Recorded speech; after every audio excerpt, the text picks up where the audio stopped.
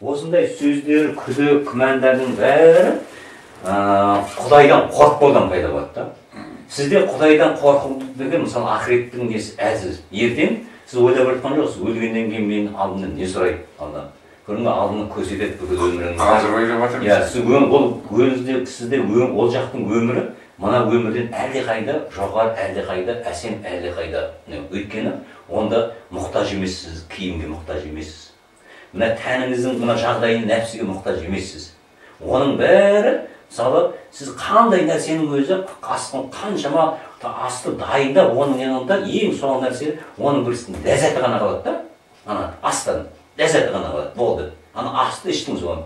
Сол сияқты сол анау жеңгейменен осы уақытқа кезде өмір ұрпақ әкеліп қанша ол төсек осылардың бәрі тек қана бір кішкентай ғана сәтті ләззат қалады да. Міне осы осылардың бәрі енді ол ақыреттің өмірінде соны сол тура ананы алады ешқандай амалсыз ашқан қиындықсыз да.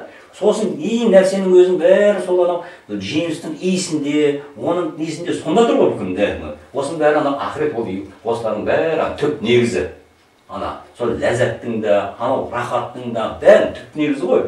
Сол дәрежемен анау жәннаттың да сатылап кете береді кете береді оның да өзінің дәрежесі бар. Соны сол өмір неге ол жақтан енді жерге қайтқысы келмейді. Бірақ жерде қалдырған нәрселерің бар ұрпақтарың бар ғой. Ама жоқ жерге қайтып келесің. Ертең кімнің баласы болып келесің? Сондықтан енді сол кезде осы өмірдегі ә, істемеген меңгермеген нәрселеріңді сол қарсылық түрінде келеді онда ол. Ол енді сол мына жүк болады қарсылық болады соған.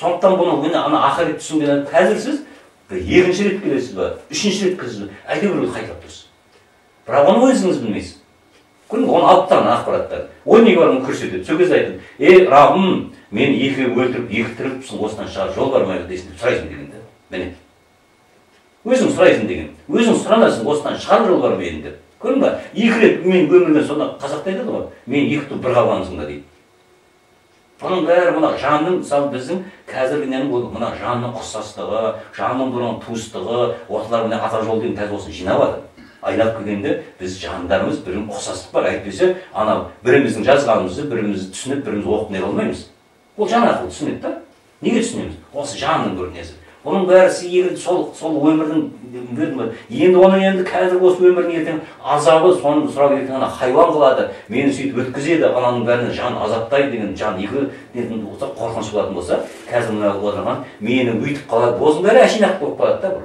Мына жалған мінекей. Осы дүниені жалған дейтін бар аналардың бәрі жалған қалып қояды өшіріліп қалады. Мен сондықтан жалған дейді.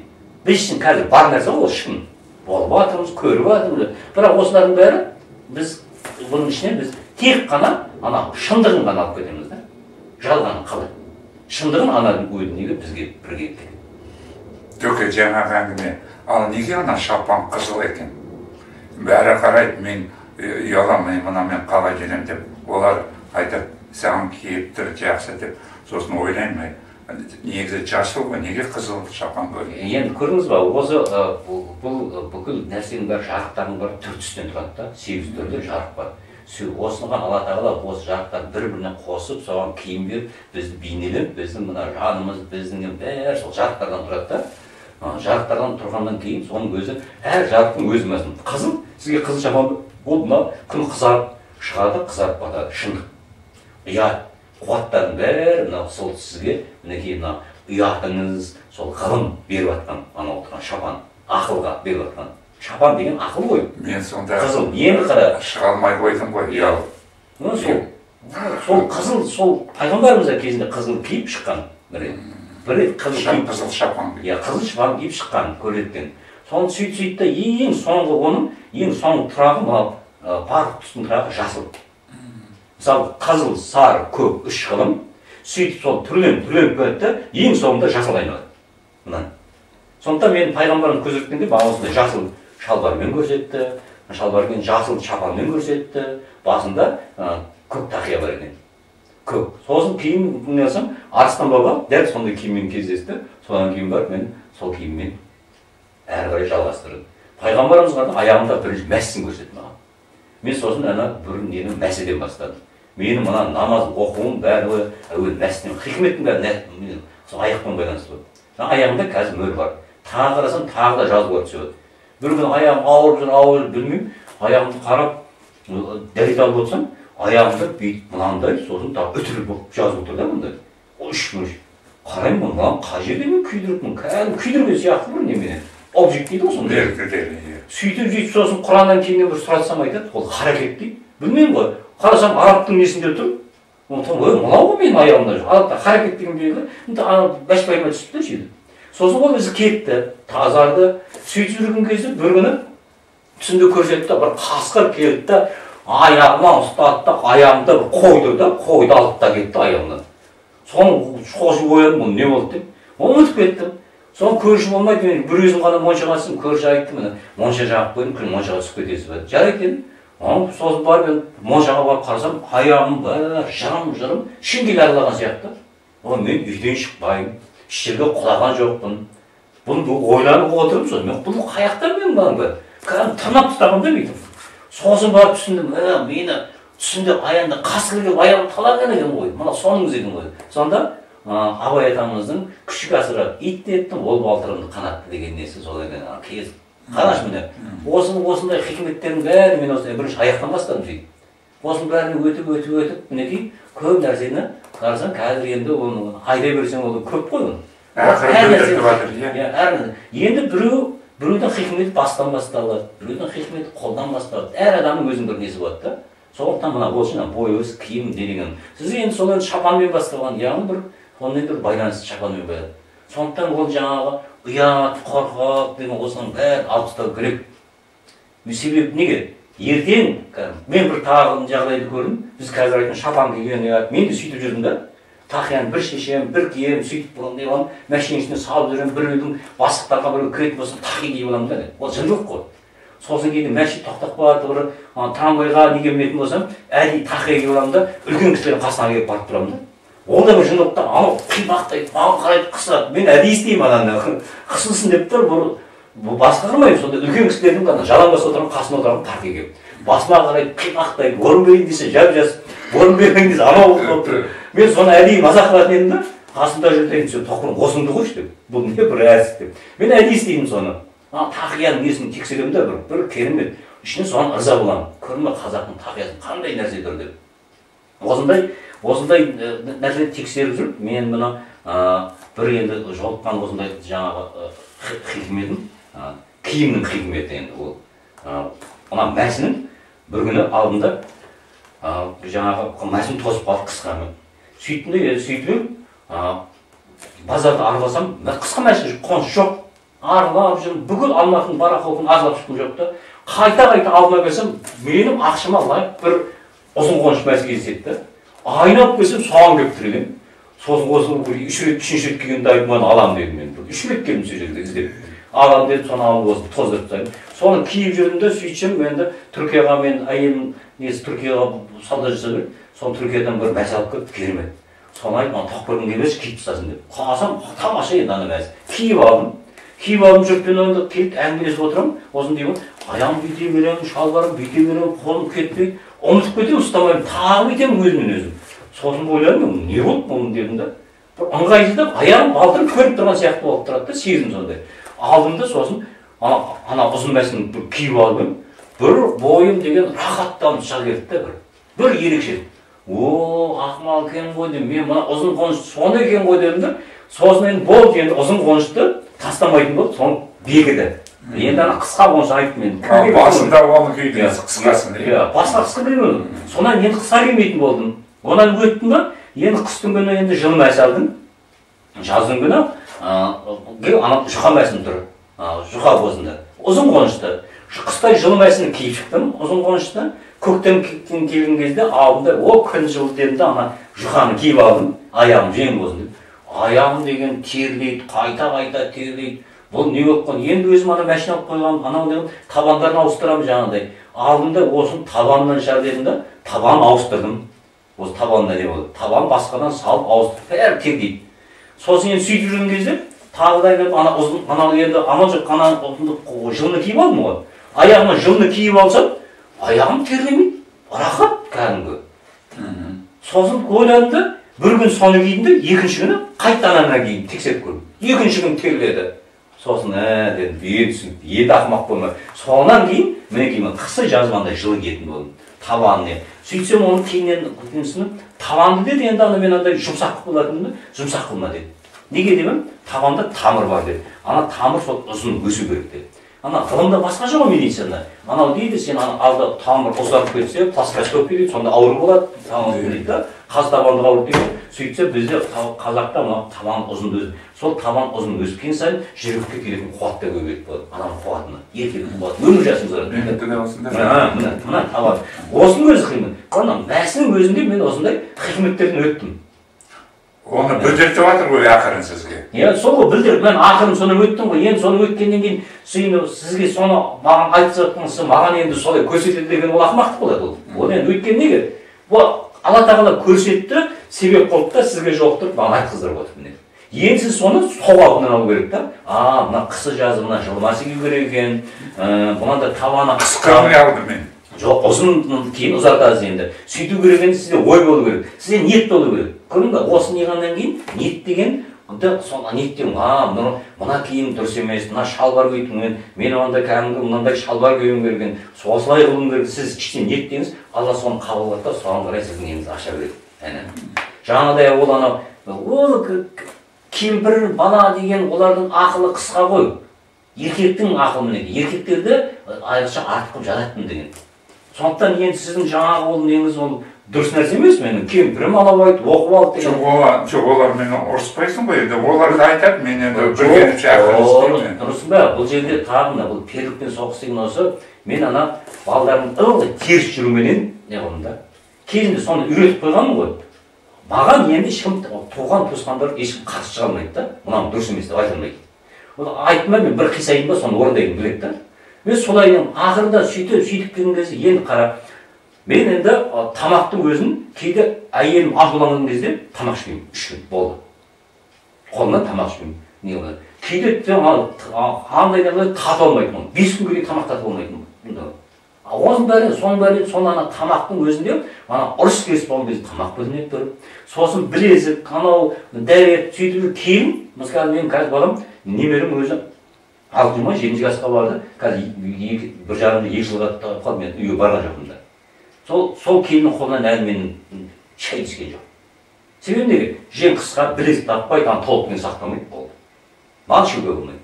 Екінші келіннен де сондай ішкен жоқ. Үшінші келіннен де ішкен жоқ. Үш келін ба үшеуінен де ішкен жоқ. Бірдегі құдағайым қолынан әлі шай ішіп көрген емес.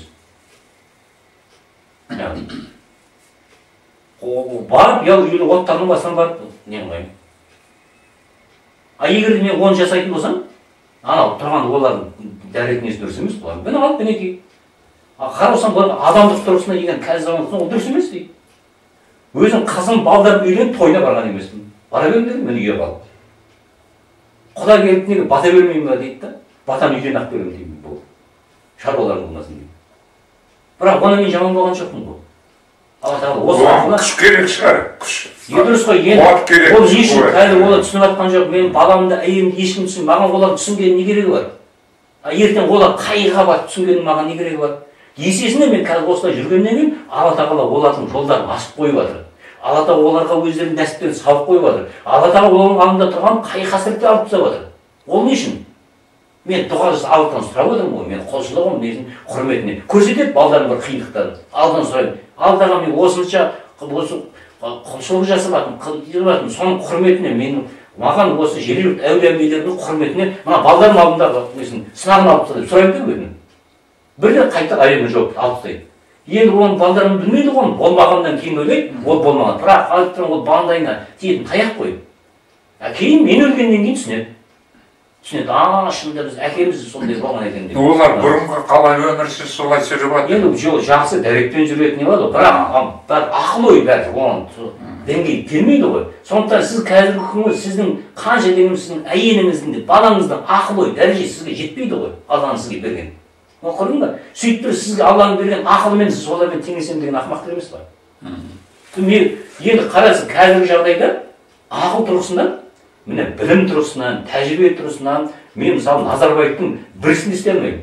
Ол тұрған өлең талант қой өзі бөлек қой. Қанша астананы салды қаншама осы халықтың бәрі не жатқанда осы өнер деп жатқанда солай әйтеуір біздің елбасымыздың беделі әлемге беделі. Бірақ енді рухани ақыл тұрғысынан мен ол ол менімен тең емес. Тең емес. Сондықтан мен барып назарбаевтың баласына иеленбеймін да. Ақыл сұрай алмаймын одан өйткені оның ақылы жетпейді мына. Оған уақыт болған жоқ. Сол сияқты кез келген ақын философ бәріне қарағанда ақыл тұрғысына қараған кезде мен өйткені алланың маған берген нәрсесін мен қадірлеуім керек қой. Мен олардың алдында еңкейіп иеленбеймін өйткені олардың ақылы бәрі жетпейді. Енді олардың енді ақыл еркімен мен солармен тең төңде өмір сүремін десем дүниеге қызығатын не болады? Олар түсінбегенмен де ертең сіздің балаң менің балам осы халық балдары мына осы болып жатқан еңбек түсінеді әйтеуір бір адам жазу керек қой. Соны қалдыру керек қой. Сондықтан оны сондықтан мен әрбіріне еркек осылай өмір сүру керек та.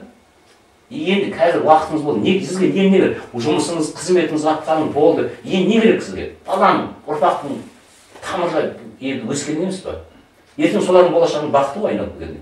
Мейлі оны қарсы аула берсін. Ол қарыз болады міндетті бірақ кейін түсінеді да кейін түсінеді мен әкеме осы осы жағдай мен әкеме өзім айттым да. Әкем шоқыр болды не болды қартайғанда ана өзі орақ ұстап сөйтіп сосын айттым егерей бар дедім да соны. Орақ ұстап не ей деді да кейін түсінесіңдер не өз шаруаң жүре берсе менде нелерім бар? деді да.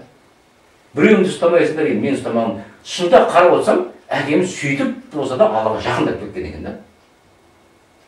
Әкеміз өлгеннен кейін түсіндім әкем айтын жұрттың дейді ана шоғыр ғой.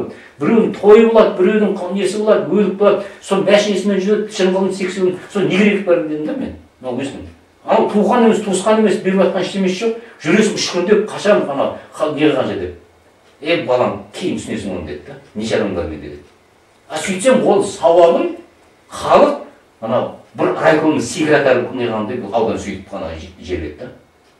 Анау тұрған ауылдағы столы құлап ол кезде жарық жоқ ешқандай сағаттап қана беретін тұғын сағаттап беретін жарық жоқ столы құлап қалған оған халықтың ақшасы жоқ. Мен әкем қайтыс болған кезде электрицитеттің басын аяқтан тапсырма берген ана столдарды қойып жарық қойып бір жеті мына ауылға күні түні жарық беріңдер деп тапсырма беріпті. Бір жеті сонда халық түсінді.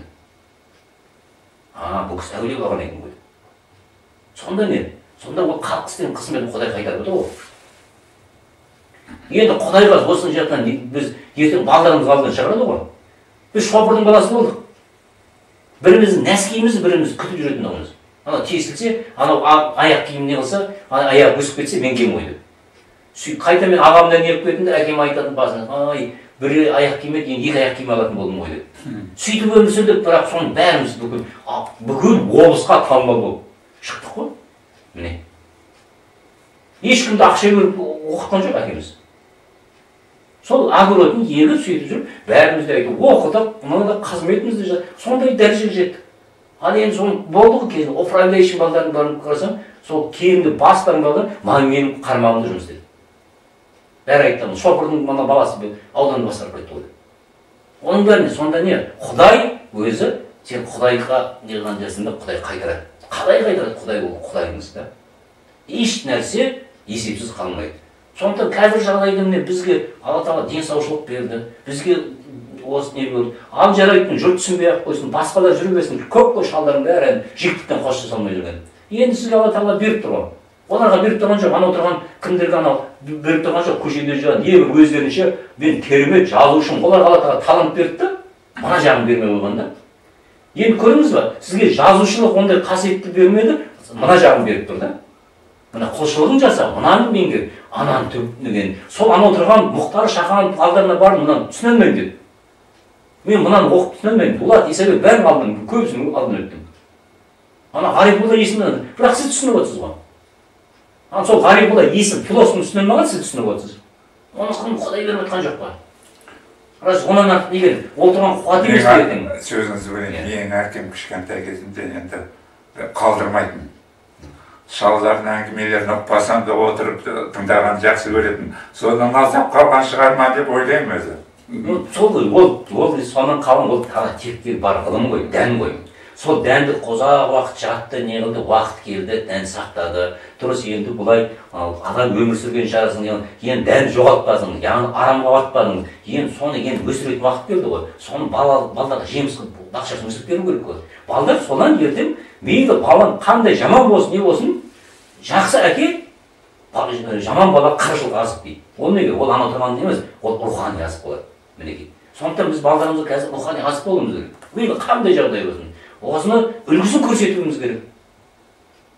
Енді бұның тағы не болады? Көбісі айтады да бұл енді қазақ қазақ осылай болып кетпейді. Біз қазақтың қазір селекцияны келіп жүз ақ мың қазақ қалады тек жүз ақ мың. Қалғандары не болады? Солар қосшы болады. Сосын жоғалады. Үш атадан бастап. Сондықтан сол түп тамыр ұстап қалу керек. Қалғандарын жоғалғандар мүлде жоғалып кете ме нәсілдік ана қазақтық тек тұрған. Енді қазір ғана біз қазақша сөйлесек түріміз қазақша болса бәріміз айтамыз тектіміз дейміз. А ертең текті тексіз деген ұғым пайда болады түбі айналып келген кезде. Қазір ана байлықты жинап бәрі өсіп жүрген керемет болып жүргендердің бәрі ертең ұрпақтары тексіз аталады оны өлшемі ғылымы алла тағала береді.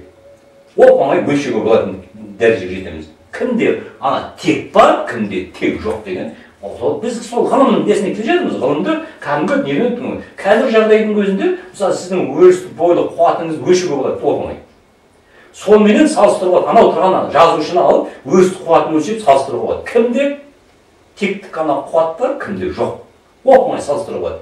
Бірақ мен оны қазір оған қазақтың біздің неміздің ғалымдардың ақылы өйткені олардың жауып тастаған да олардың бәрі сатып алды неғып алды ақшаға парамен алды таныстықпен алды. Ғалымдар енді не қылады? Бұны біз шетелден шақыруымыз керек. Бірақ осы шетелден шақырған үлгісін әуелі егуіміз керек үлкендер сіздер осы бастамаған кімге? Қазір жастар өсу керек. Оларға қанша еккенмен де қазір ол дәл сіздегідей нәтиже бермейді. Міне сізге нәтиже береді. Жаңағы кісілерге де айтқаным сол тел уақыты. Онан да дұрыс дайындалып келіңдер ана кісі ана павлодарда екі жыл болды дайындалып келді сені қазір мына кісі астанада ғой я аяғында мәсі жоқ я несі жоқ әйелден қарап отырсаң мына жерге оранып отыр оның не керегі бар? Жоқ мен төрт жыл болыпты төрт жыл танысқаныма. Енді сол ғой сол төрт төрт жылдан бері әлі сол сіз намазға келмепсіз оның өзі дайындық қазір енді ол қайта сізге осы мына жеңілдік кейін шамалы енді бір жарты жыл бір жылда тіптен бес уақыт намаз болмайтын болса толық өзіне сай келмейтін болса анадан өтпейтін болса біз қабылдамаймыз. Яғни енді қазір мен мына маңдай көзді ашу мысалы әлемге танытатын сондайлар дайындаудың мектебін ашамыз. Қазір бірінші мектеп бастап аштық қой. Енді бұл мектептің несі жоғарылайды енді ол оны ол керек қажет етсе де қажет етпесе де халық сыйлайтын болады да өйткені ол құдайдың адамы болып есептеледі айтқаны қабыл болады несі болады несін міне осындайларды бұл електен өтеді қазір а қазір енді біз мына соның өзінде де не қылатынбыз енді әлі қателік жіберіп жатырмыз бірте бірте жалпы мынандай мынау нәсіл жоқ адам деген намаздың өзі дұрыс емес деген ұғымға келеміз сен нәсіл киіп мына намаз береді толық сақтай алмадың да сен жүз жерден төменге тұрып намаз оқысаң да ол қабыл оның нәтижесі міне осыған келе алып келеді. Бұл ана бұрынғы біздің ана әулие бабаларымыздың істеген несіне біз соған қарай жақындап келатырмыз міне соған біз енді үлгісін көрсетуіміз керек. Мысалы менің өзім әлі ондай тақуалыққа жеткен жоқпын. Сол кезінде көрдім ғой шалдардың ауылдағы? Шалдардың тақуалығын мен әлі ұстай алмаймын олардың. әлде де бар ғой небір керемет жүрген халықтың арасында көп қой. олардың тақуалығына мен жеткен жоқпын. жетпей жете алмайтын себебім? мына абай атамыз айтқандай халқын адам болған соң қайда бар оңайын дейді да қазір бәрі маңында ағым болғаннан кейін сен өзің адал болып қай жаққа аласың сосын солармен оны жындылық керек та олармен күресу үшін. сосын амал жоқ мен енді өзім сол анау ұмытып қалған жындылықтарымды анда санда қосып отырамын өйтпесең жынды болмасаң ананың анау пирлігін жеңе алмайсың пирлікті жындылықпен жеңеді ана әйелде бәрі пері да тұрған. Оның періге қарсы ол жыннан ғана қорқады да. Еркектің жыны қасып болса өй деп отырса анау жын болады. Ал болмаса мысы болса деген мысы ғой сол жынмен байланысты ғой. Ол таза жын болу керек қой. Таза жын болса сонда кімді болса да не қазір жастарды қарасаң төбеңе шығады сосын әрбір күн кейбіреулері сосын амал жоқ. Құлатуға тура келеді ол да бір жындылық та біліп тұрып ананың арасында ана құлатып жібересің ал көр енді осы болса да не таяқ жеп көр деп кейде кездесіп қалады көшеде сосын амал жоқ көтер десін не айтып тұрсың деп үндемей кетуге де болады да оны құдай өзі ақ жазасын береді ғой бірақ оны түсінбейді ғой құдай жаза береді демейді ана сенен кейін жазалса түсінеді а үлкен кісіге қарсы шығуға болмайды екен ғой деп есесіне мен бес алты шалға несін неғып беремін да жеңдеп о сондай болуымыз керек. Біз бір бірімізге осылай көмектесуіміз керек. Мен не істеймін? Мен өзімнен қорқып жүрген жоқпын. Үндемей ақ кетсем де түгім кетпей. Бірақ тағы мен сияқты біреуді мынау ренжітеді мынау не қылады деп мен әдейі істеймін кейбіреулер. Мысын басып кетемін. Енді қайтып не сосын қорқады. Сосын келесі басқа бір ана бір момын шалдарға алдында сәлем беріп тұратын болады. Ол үлкен кісі ол. Қору керек деп. Бұрын сол шалдар сондай еді. Кәдімгі шақырып алып тұрып боқтай боқтап тұрып айтқанын істейсің амал жоқ істейсің да ішіңнен сол ішіңнен ызаланып тұрсаң да өйткені ол ол шалдың айтқанын істемесең ертең білесің жамандық ұшырайтыныңды мен сөзіңізді бөлейін менің әкем мысы бал болды негізі кісі соғысқа барды аман келді күшті әлгі жаңа колхоз совхоз болған кезде учет жоқ қой пенсиялар жоқ советтер бармай сонда әке барып районға іздеп жүріп тауып береді кадровик болған шеше айғайлайды неге бұл жүреді? Деп соны барамын ғой ауылдарға. Сұрайды кімнің баласына ой кемпір шал ой сағидала бізге пенсия алып берген деп. Ал менің әкемнің әкемнің әкесі емес арғы атасы кім болады? Ысқақ дейтін кісі. Ол енді өте күшті адам болыпты мына дін жағынан. Бір нелерді істеп жібереді деп кемпірлер айтып отыратын. Дұрыс қой енді осы соның бәрі енді сол келген жұрнақ қой енді. Соның бәрі енді айналып келгенде өнім беру керек міне. Сол ана әкенің қалдырған жақсылықтарын біз көбейтуіміз керек. Болған егер бір қателік нелерің болса біз соны соны жоюымыз керек міне. Аманат деген сол. Ал енді қазір ертең осы сіз не қылсаңыз сіздің әлі білмейтін нәрселеріңіз көп. Білмейсіз ғой. Қанша жүк не қылдыңыз? Қанша не қалдың? Ертең оны сол сол осы тұрған қасиет балаға ауысады да ертең сіздің балаңыз немереңіз керісінше сіздің жөніңіз бір күні бір уақыттар замандарда сіз сол немереңіз бен шөбереңіздің баласы болып келуіңіз мүмкін. Көрдіңіз ба енді сіз әке болып келмейсіз сіз бала болып кетесіз. Ана сізден шыққан ол сізге әке болады. Ол өмір солай әке деген осылай соны құранда айтқан әке мен балаға деген. Әке мен бала ауысып отырады. Міне адам атағана тұрақты әке онан кейінгі әкелердің бәрі біз бірімізге біріміз әкеміз. Қазір мен енді мен әке, әке деп отырсам кейін сол әкем менің балам болып келуі мүмкін. Шөберем немерем болып келуі и сосын кейін қарай сол немере шөберемнің сол әкемнің мен баласы болып келуім мүмкін. Оны мәшһүр жүсіпов айтқан ғой. Ол неге келді? Түркістанға келді. Түркістанға келіп қыдырып ана осын осындай енді қайтамын деп қалса ой енді осындай қасиетті ұлық адамсыз біздің біраз немізді шешіп беріңіз деп. Енді сіз түркістанға қашан келесіз десе құдай қаласа төрт жүз жылдан кейін келемін ғой депті. Бұл не айтып кетті сонда? Төрт жүз жыл несі білім сонда төрт жүз жыл өмір сүретін болған ба деп сөйтіп не қылған ғой айта алмайды ғой әулие кісіге жауап бере алмаған. Сонда сол кезде сонда біліп отырмын сонда. Бір секілді мен дәл осының немен қайтаруынан енді төрт жыл деп а қазақта айтқан ғұламалар жеті жылда қайталанады деген. Көрдің осының өзінің бір цикл бар ғой. Ал сөзіңізді білейін а неге осыны мен сізден ғана естідім қазақтың әулие әмбиелерін? Енді бұрын жай мына кітап бойынша. Ал содан кейін мен бұрын россияның контактерлері бар ғой. Иә. Сосын ана тибеттіктердің жаңа маңдай көзді олар ұрып ұрып ұрып шапқылап нетеді екен теседі екен мына. Енді россияндар айтады әулие адамдар индияда бар тибетте бар қытайда да бар. Қазақ бар деп естімедік а енді оны қалай мен енді жазбаған оны қалай жоқ естиді не мына пәтуа деген бар. Көбісі айтады да дұрыс қой ана алыптар пәлен әулие би деп ана кітап жоқ кітаптар иә ана сөйлеп айтты дейді айтады да онда пәтуа болмағаннан кейін онда қуат болады жүректен жүрекке сіңбейді. Ондай көп жатыр сіз қанша оны ұмытып қаласыз да айтады. Енді адам өзінің өмірін көргенін өмір сүргенін мысалы мен абай атамыздың әрбір нелерін сұрап соның ана рухани халіне кіріп яғни соның өміріне кіріп. Кіргеннен кейін мен оны айтқаннан кейін онда қуат болады. Өйткені мен біліп тұрмын ана оны жалғанып тұр ғой ол ана жүректен жүрекке тесіліп кетеді сол айырмашылық сонда ғана да өйткені мен адам өмірге келдім мен сұрадым. Оны өзімді көрдім. Пайғамбарымызбен кездестім пайғамбарымыз айтты сен өмірге үш рет кездестің келгенсің деді да мен кеудемнен тұрды сіз ше? дедім мен үш рет келдім деді. Содан басталды ал жарайды отыра қалдым сұрадым ана пәленше ше түгенше деп сөйтсем содан кейін барып оны көрсете бастады ғой. Мысалы түктібай атамыздың бұрынғы несі? Ысқақ баба екен. Яссауи бабамыз мұхаммед пайғамбарымыз екен. Келіп тұрған рух қайтадан ауысып келіп тұр да әке бала болып сөйтіп жаңағыдай. Рух әке бала болып қайтып келеді ғой? Сөйтіп келіп тұрғаны яссауи сөйтіп яссауи бабамыз тағы қайтып екен? Арыстан бабамыз пірбекет атамыз екен. Енді әулиелердің бәрі сөйтіп мен түгіп біраз түгендедім ғой кейін жалығып кеттім. Қараса бірін бірі қайталап тұр да. Қойдым енді. Өйткені оған айта берейін десем ешкім тыңдамайды мен бір өзім ғана білемін да ол да жалықтырып жібереді да оны айту керек қой енді осыған келе жатыр енді айналып келгенде әр әр адамда осындай бір әулиелік белгі тұр да біз білмейміз кімнің әкесіміз кімнің баласымыз осындай бір ана ұлық деген әке бала болып қалды енді жандық цикл болады мысалы соны қазақта ғана тұр ғой осы соны қазақта тұр біз енді қазақтың сөзінде екі бір қалғансың ба дейді әр сөзінде несінде бүкіл кәдімгі қазақ мұрын кезінде біліп айтылып кеткен. Міне соның өмір сүрген халықпыз жаңа сол айтқан сіздің жаңағы бекерден бекер емес ана ысқақ деген сағидулла деп бәрі құранмен келіп тұр да.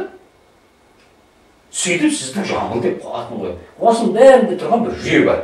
Ол бекер қойдырмаған. Ол сондай рухани байланыс. Бірақ сіз соған сіз сәйкес келмей енді осы соған келіп жетелеп келіп тұрған әлде де сұрадық әлде де дайын емес деді. Мен айттым мен тәуекел мен орнында біраз уақыт не бұрынғы келтірмегеніміз дайын емес деп тұрды да бізге. Дайын емес дайын емес. Өйткені ана мынаны ала алмайды деп тұр да. Енді айттым енді мәсігейді айтты сосын барып ала келініңізді айтты енді жарайды енді. Келсін не қылайық орындалып берейік деп. Өйткені ана тезірек демалысқа шығып шыққан екен да. Демалысқа шықты енді мен үйде тамақ істеп беремін ғой кезінде. Ал бірінші уақыттар иә анадай келмейді анадай келмейді бұл жерде мен сосын бір тағы қағидасы мен мысалы сіздермен тамақ ішпеймін не болмайды болды ол мен өзіммен өзім бөлек кімге енді тіптен ана қандай адам не қылсам сол ортада мен тамақ ішпеймін мен бөлек не қыламын. Сондықтан да мен ана өзіме тамақ бөлек істеп ішемін жұртқа бұрын қызметшілер бар тұғын. Келген адамға тамақ істеп беріп тұрады. Сосын келген адам өзіне тамақ тамақ істетуге болмайды ыдыс аяқ не қылады? Болмайды ана бір біріне тамақтың өзінің мәселе емде тұр мына жатқызып алудың емінің өзінде бұнда үлкен бір не тұр. Сосын көбісі айтады онда үйіңнен қатынады. Өзің біз оны білмейміз не қылмаймыз деп. Бұл енді арасында құпия көп